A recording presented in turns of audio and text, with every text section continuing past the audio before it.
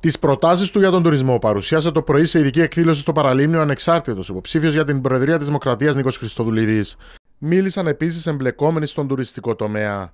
Ενώ μεταξύ άλλων ο κ. Χριστοδουλίδης ανέφερε ότι στόχος είναι να ενισχυθεί ακόμα περισσότερο το μερίδιο αγοράς, διευρύνοντας τις αγορές στόχευσης, ειδικότερα στα κράτη-μέλη της Ευρωπαϊκής Ένωσης.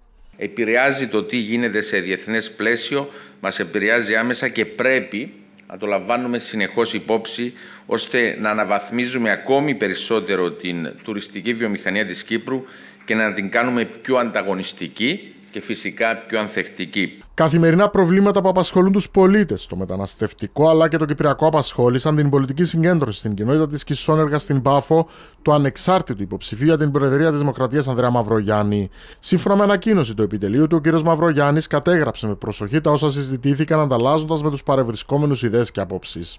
Από πλευρά του, ο κύριος Μαυρογιάννης τόνισε την ανάγκη για λήψη αποφασιστικών μέτρων για αναχέτηση της ανωδικής πορείας των τιμών και του ηλεκτρισμού. Μεταξύ άλλων, αναφέρθηκε στην εγκατάσταση φωτοβολταϊκών σε οικιακές μονάδες με κλιμακωτή επιδότηση που θα φτάνει μέχρι και το 100%, στην κατάργηση της διπλής φορολογίας στα καύσιμα και στην διεκδίκηση από την Ευρωπαϊκή Ένωση περαιτέρω μείωσης του φόρου κατανάλωσης. Με μέλη του Παγκύπριου Συνδέσμου Εχμαλό το 1974 συναντήθηκε και συζήτησε τα προβλήματα που αντιμετωπίζουν ο ανεξάρτητος υποψήφιος Κωνσταντίνος Χριστοφίδης.